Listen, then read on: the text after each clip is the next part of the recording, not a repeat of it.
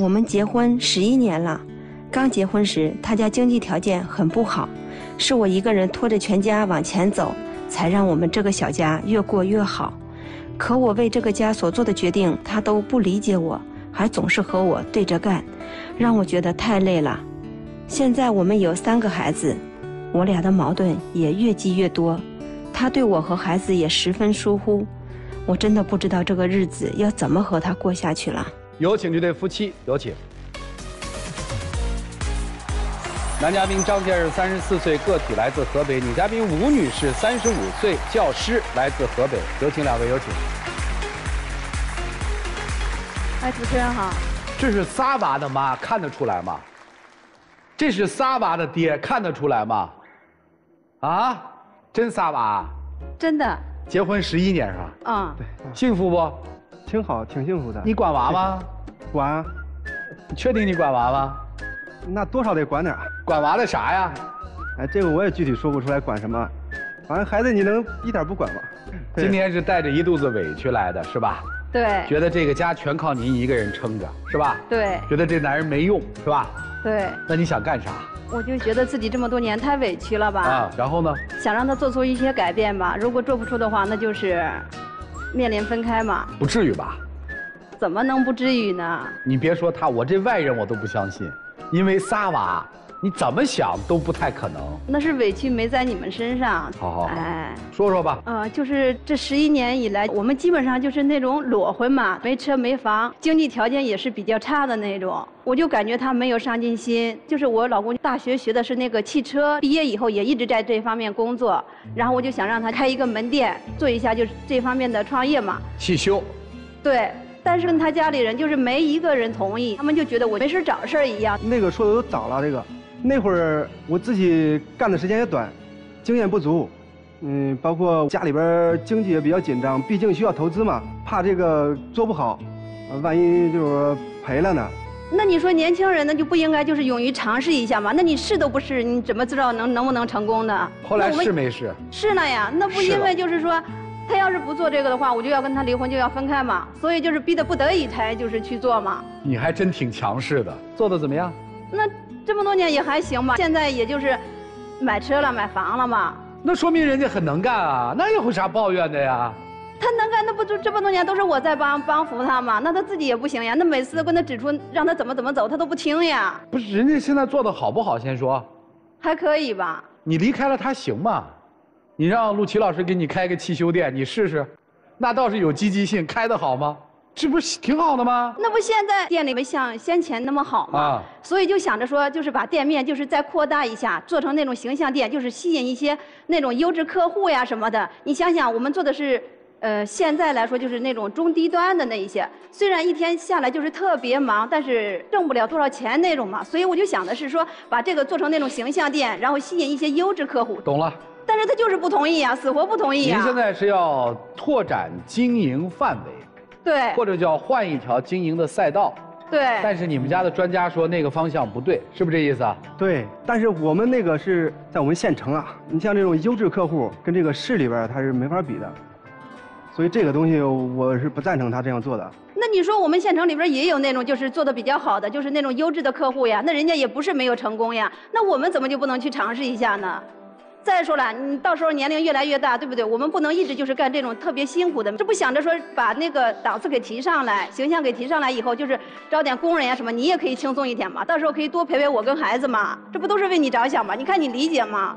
呃，这个夫妻两口子老婆店这个经营的事儿，咱不好插嘴，但是就提一个问题啊，有没有可能未来连汽修店都没了，因为全是电车？有呀，所以我也跟他说过这个问题嘛。我就想说，出去就是学习一下，我在店里跟你盯着这个销售这一块然后也有工人嘛。他说什么呀？他说到时候没有了，那就不干呗。为什么非要干这个呀？他不听呀，他就永远不不是说向前，就是说想着去思考怎么把这个东西去去做得更好这种嘛。明白了，董事长同志，今天咱们在这儿不谈公司的事儿啊，公司的事儿你们公司员工回去自己开会。咱爱情保卫战，说说你们俩夫妻两口子的事儿。第一件事儿我们听明白了。在经营上面，妻子觉得丈夫不够用心；在对于未来家庭的思考上面，觉得丈夫没有主张。对，好。咱们说说其他的。你说我在家就是看这两个宝宝啊，你也不看宝宝，然后你就打游戏，你打游戏就打游戏呗，你还充值，你三千几千的充，那你有钱吗你？你有那些钱，你跟宝宝买成奶粉呀、衣服呀，行不行？交点学费行不行？男人玩个游戏怎么了？别人都一直充钱，一直充钱，要不然跟人都玩不到一块儿了。这东西，那你跟别人一样吗？那别人有钱呀，那你有吗？你为什么要每次都跟别人比呀？那我们拿你跟别人比了吗？那别人有房有车，那你有吗？你看那领导的这人就比份儿出来较，强亮。你看人家那姿态已经，你有吗？你有吗？领导训话，来，您说他关关不关心你和孩子？咱往这上面谈谈好不好？那你说我们就是刚结婚的时候，人生地不熟，谁也不认识。然后我从小就是胃不好，就那次吧，就是胃痉挛，疼得特别厉害，腰都直不起来。然后他还去上班，他都不管我。那当时不是说我就要上班去啊，那是我已经走了，已经开始给人工作了。我手上说实话干这个活嘛，比较脏。哎，我又跟他说，我说这个门诊在咱们家没多远，你自己去呗，这么大人了。那一个女的生病的时候，是不是最脆弱的时候呀？那是不是想要你安慰一下？你最起码你就是安慰一下、哄一下嘛。那你怎么说的呀？哎呀，你那么大个人，你自己不能去吗？非要什么事情都要我管着你？对呀、当时我我父母也都在家，你谁跟你一块去那你不行？那你父母也不是你呀，那我是嫁给你呀，是我又不是是嫁给你父母呀。是那时候他年少不懂事儿，咱们翻篇儿啊。这个有了孩子之后总长大了吧，好不好？那时候刚有二宝嘛，才四十多天，然后大宝就是生病嘛。这大宝的事儿就不说了，看来生大宝的时候还行啊，那就说二宝的事儿啊。那不就因为一个宝宝嘛，相对于来说也用不着他嘛，自己可以就是做得了嘛。哦那有二宝以后嘛，孩子发烧烧到四十多度，让我自己抱着两个孩子去那个去坐公交去医院，他也不说就是说给我找个车呀，或者就是让人陪我去呀，怎么着，他还是去上班，不管我们娘仨死活。这话一说就是非得说我还是去上班，我是已经工作了，我每天也是坐公交车走，公交车十几分钟一趟，哎，很准时的。再说了，你去门诊去给孩子看一下，非得非得就要去医院，那不是因为门诊看不了吗？门诊要能看得了，谁愿意去医院呀？那么远我愿意去吗？那么冷的天，再说了，那你借个车就不能把我们送过去啊？还得找个司机专门给你开车。那不就是那朋友不就是互相帮助的吗？那我不是就是有事情才求他们吗？那我没事情谁愿意用他们呀？对不对？可以，可以，可以。二宝就这一件事儿哈，那还有他们两个都同时生病，让他倒那个倒个水呀，拿个药呀，或者就是量个体温呀，每次睡的觉都叫不醒，踹他。踹都踹不醒。我管啊，我不是不管，我工作一天回去之后，我还给他盯前半夜呢。但是我睡着之后，说实话是睡得比较沉呐、那孩子生病能生几天呀？那你请几天假就不行呀？啊，你就非要那？自己家的买卖跟谁请假呀？没，当时那会儿还是就是在跟别人上班嘛啊给。别人上班。嗯，行吧，就是宝宝生病你不搭手，我比较累，是吧？对呀，生了三宝好点没有？更不好。我送大宝、二宝就是去上学嘛，让他自己去送三宝。然后门市上一般就是八点钟开门嘛，每次他都要拖到九点。很多客户八点就已经在等候了，你知道吗？他每次就是送完宝宝，最早最早也得八点半。那你说每次这种形象多不好呀？我走的时候我就跟他说，我七点半我就走了。我说你早点，你早点，每次都有客户，对不对？人家就不听呀，就得磨蹭他。一说就是，哎呀，那个宝宝就是不起嘛，那我没什么办法呀，那我叫不起来他呀。那你叫他还叫不起来，你多大个人，他多大个人呀？他还能反抗过你呀？听懂了。总而言之，大错误没犯，小错误不断，就是不太听您的话，您觉得心都操碎了，是这意思吧？对呀、就就跟又一个就是孩子一样嘛。啊，四宝四宝，呃，你代表你和三个宝宝来说说你媳妇儿吧，就在家里她是一个什么形象？看不出来吗？就这个，哎，在家里就是这种女王形象，各种问题她都得管，哦，而且不按她说的来，这个就不行。是仅对你还是连孩子也？连孩子，你看孩子晚上写完作业，有时候说孩子想玩会儿，玩手机什么的，很正常啊。不行，规定孩子这个十点钟上床睡觉，九点半刷牙，你九点三十五去刷牙，不行，如果违反了得我得我们四个一顿训呐。一起是吧？对呀三个宝宝连你一起是吧？对呀、就就就是连我们四个坐是？吗？就一个九点半没刷牙，其他三个得陪在一起，四个人一起训。，对，那给你们定时间不是让你们早点休息，你第二天要上班，他们第二天要上学呀，对不对？那不是为你们好吗？这也是我的错。那你要是把这些事情都做了，那我用生气吗？那我用说你们吗？你以为我想呀？哎，你们犯错了他会惩罚吗？这个我吧还行，孩子这个不行啊，罚站呢，那对你呢？不让我进屋呗，不让你进屋，你去哪儿？客厅啊。哦哦哦哦哦，让你睡客厅是吧？对呀、干啥呀？你这来干啥呀？跟我们显摆你的幸福生活是吧？不是呀，你看他天天多没有上进心呀。然后你说这十一年以来嘛，你说我我不打游戏，我也不出去吃饭呀什么呀，就是一心为这个家着想嘛。就是现在我就感觉他们全家就把我当外人，就好像就是。哎呀，甚至我婆婆公公都觉得就是我欺负他儿子一样，你知道吗？那你说他们都不上进，那你不得有家里不得有一个就是说领着他们前进的嘛，对不对？对对对。您现在是家里的火车头，对吧？后面那些火车他们现在不跑了，对吧？对呀，那拖着他们太累了呀。所以您现在也不想当火车头了，是吧？对。你想让他当火车头，是还是不是？是。你能当火车头吗？做不了。孩子怕他吗？怕呀。这个三个孩子应该跟你关系稍好一点，是吧？那。怎么说呢？你想好说啊。孩子跟我关系吧，还行，就是用着了，就过来了。啊，用不着呢。平常平常还是找妈妈。定位很好啊，是个工具人。好，你就说吧，今天你要干嘛？我就想让他以后就是把这个家撑起来。就是我现在感觉就是太累了，身心疲惫的那种感觉。我。不想了。我要辞职，不干了，你必须得接上。是这意思吗？是。那人家要接您的班人家得知道我干些什么呀？那就是把那个店面经营好。您退出管理吗？对呀。然后从今以后，我不再管店面了，行还是不行？行。好。行。提要求，第二个。就是以后大事小事就是让他做主呗，我就回家当个就是家庭主妇就行。听明白了，以后主外的事儿都归你管，是这意思吧？是。一年给个指标吧，经营指标。那十二万吧，一个月一万块钱嘛，能行不？一年给家里交十二万，能挣到？确定吗？能挣到。好，行了吧？没别的要求了吧？啊，没有。确定没了哈？嗯。没了就好办了。听起来要求很简单，为什么十几年却达不到呢？啊，一个女人在家里面到底遭遇了一些什么？丈夫也觉得委屈，妻子也觉得委屈，丈夫也没少付出，妻子觉得我还比他付出了很多。现在这个家庭到了一个什么？老婆闹着要不干了，丈夫真的能把这担子接过来吗？还接不过来。你不是为了离婚来的，对吧？你是为了敲打他来的，是吧？我们让老师给敲打敲打，看看这车，到底是前门需要钣金，还是后门需要钣金？还是说这车全身都需要钣金了？老师们，你们给断断吧。让我们一起进入丘比特问卷。妻子说要放权，我担心你即便是放了权，你依然是这个家庭当中的慈禧太后。如果说要问你们家情为何物，那太明显了，一物降一物。他说的话，那一定都有理；他做的事情，一定都是对的。但问题是，你说的话难道一定是真理吗？刚才你说，他的店该这样做那样做，你们两个人汽车谁懂？他懂呀。那你为什么还要指手画脚呢？那不想让他更好吗？再说很多。你凭什么呢？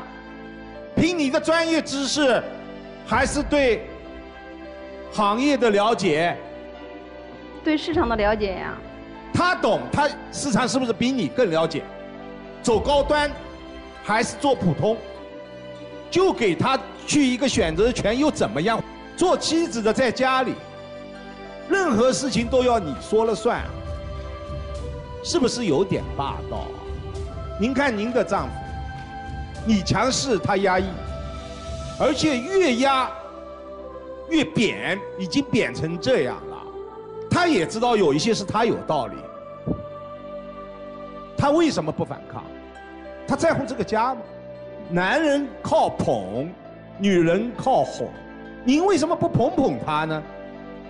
让他有点自信呢？一个家，我不认同说一定要有一个家长，当然也做不到完全的平等，谁有道理听谁的，相互包容、相互理解、相互尊重，有时候。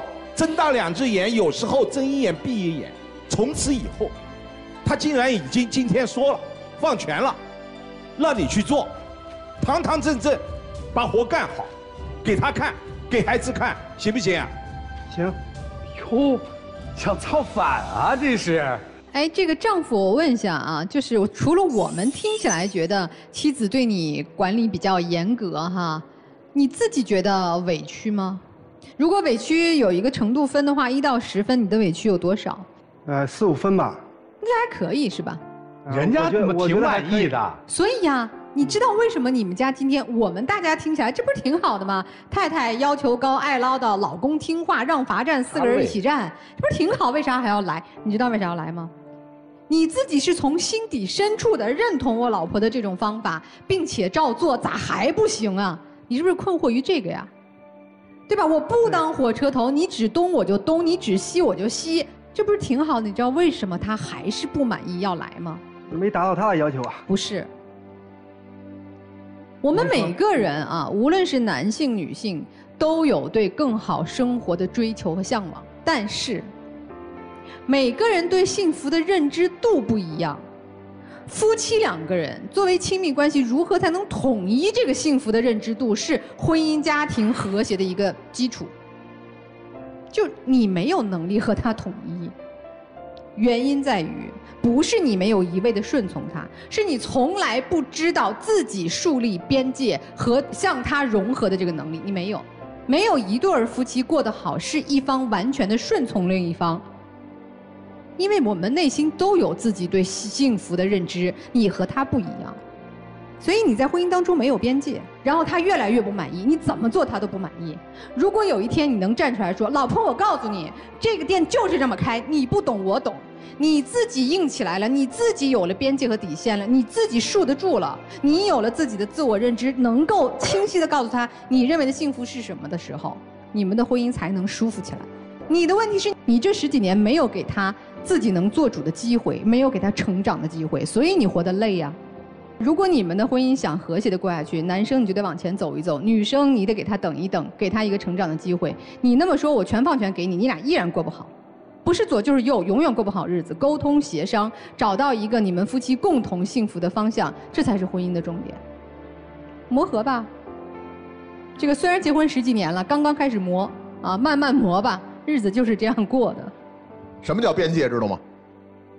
刚才赵川给你们定了一边界，明年一年下来十二万，对吗？嗯，只要他把那十二万挣到了，对那个店你就闭嘴。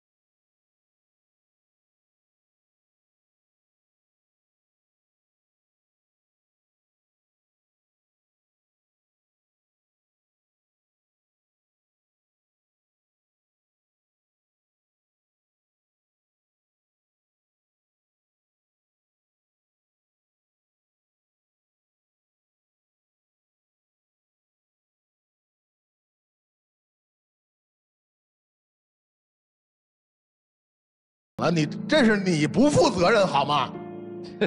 你得管呐。还有啊，你不光得管老大、老二、老三、老四，你都得管呐。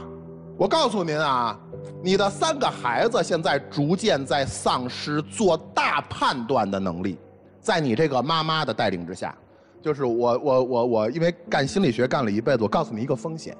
一般呢，我们说男孩叛逆主要指向爹，但是我估计您家这仨孩子，两个女儿一个儿子，他们的叛逆应该主要指向你，因为谁约束我，我指向谁。我希望我说明白了，好吗？可以。哎，就是身在福中不知福的事儿吧，有些人特明白，但是有些人明白也干。都在说妻子啊，我问丈夫几个问题啊，因为我听着啊，就你今天特别扬眉吐气是吧？所有人都帮你说话，但我确实有点问题。你有三个娃对吧？大的十岁，嗯，八岁，四岁，对对对，是吧？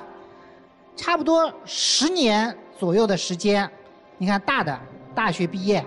要在大城市里面生活了，儿子要考大学了，对不对？十八嘛，小的十四，差不多要考中学了，未来也要考大学。三个娃大概率现在的孩子都会去大城市里面生活，然后要结婚，要怎么样？你觉得你作为一个父亲，这十年该给他们存多少钱？没考虑过这东西。你现在考虑？你要除去他们上学花销的话，除不去上学花销。除上上上大学都得花钱，上大学我跟你讲啊，除了学费，还要买电脑、交寝室费，他还要社交、生活费，一堆钱呢，三个吧。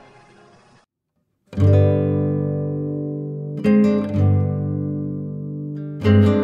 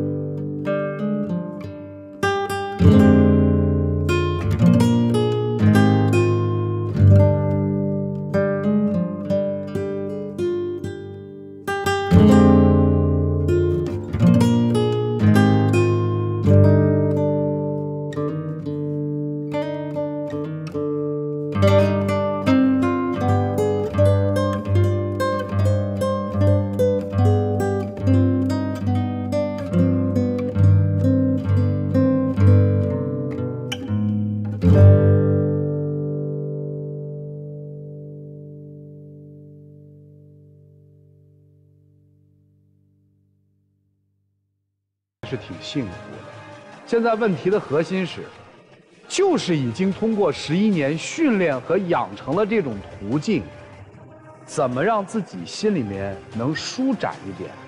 他管你一样累，而且真的这个拳根本就教不下去。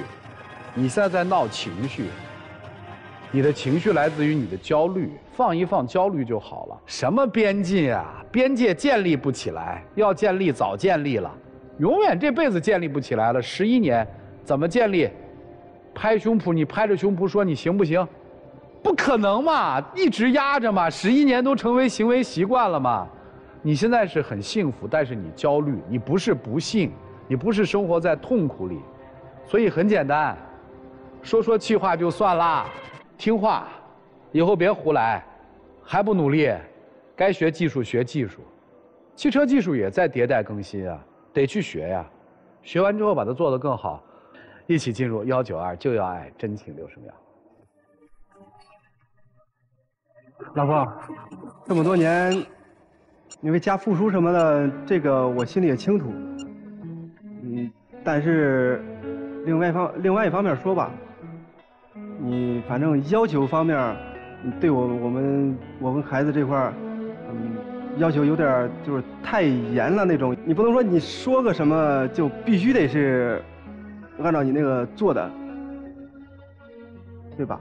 你说我给你你说要炒个土豆丝。我今天给你炒了个土豆片儿，这个你也应该就是说，去体谅一下我，对吧？我就是想着吧，让你就是以后多多上点心，多有点责任感。对我就是我跟宝宝嘛，就是更照顾一些嘛，所以就是希望你以后就是越来越好嘛。哎，我突然之间听明白他说要表达什么，他只是想要生活的松弛感。是吧？就是你啊，太紧了。他要的是有一种松弛的感觉，有弹性。我再翻译的直白一点，要求不要太严苛，别太较真儿了，较真儿会更累。我估计你这次来啊，是因为你叫不动了，孩子大了，男人吧，现在跟孩子有一条战线了，有点叫不动了，是吧？回去吧，谢谢你们，请回。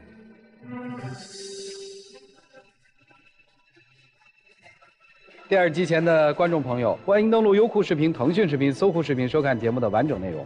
来吧，预测一下，双出是肯定的，肯定是双出啊！来，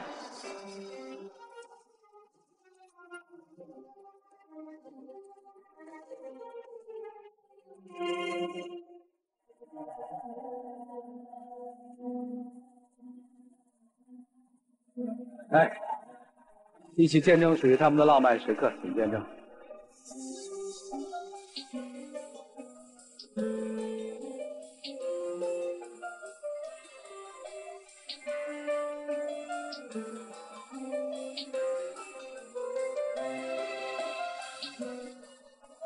来来来，请亮灯，请亮灯。就是笑起来觉得生活特美，就是不笑，放松一点，啊，没有你想象的那样，挺好，挺好。谢谢两位，请回。